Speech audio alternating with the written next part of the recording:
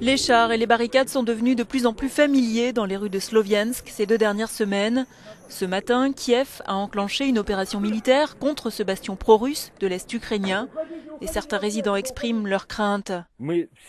Nous habitons ici et personne ne va venir nous défendre. Donc nous devons le faire nous-mêmes. Il n'y a pas de troupes russes ici comme le prétendent les Ukrainiens. Nous sommes juste entre nous. Ce sont nos maisons, nos vies, notre Sloviansk. Dans plusieurs quartiers, des barrières ont été érigées à l'aide de pneus, de ciment ou de bois. Peuplé d'environ 120 000 âmes, Sloviansk fait partie de la douzaine de villes contrôlées par des séparatistes pro-russes.